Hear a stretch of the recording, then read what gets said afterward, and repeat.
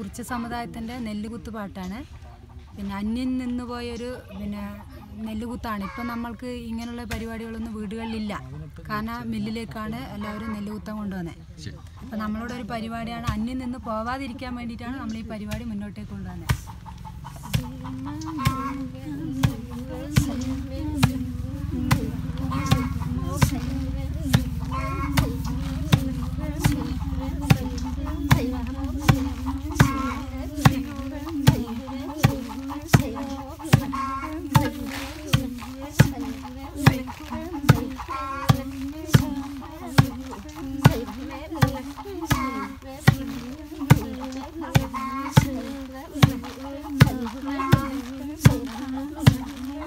Thank you.